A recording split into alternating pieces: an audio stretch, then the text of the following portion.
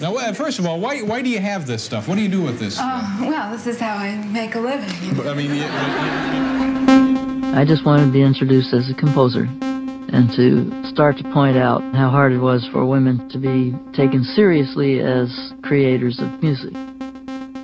This is the story of women who hear music in their heads, of radical sounds. This is the story of dreams enabled by technology.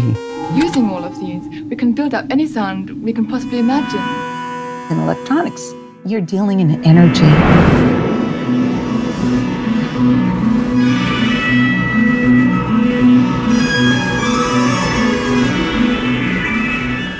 Technology is a tremendous liberator. It blows up power structures. You could make something with electronics and you can present music directly to your audience.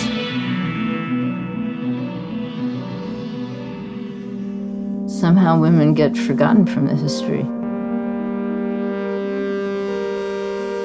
The history of women has been a story of silence, of breaking through the silence. With beautiful noise.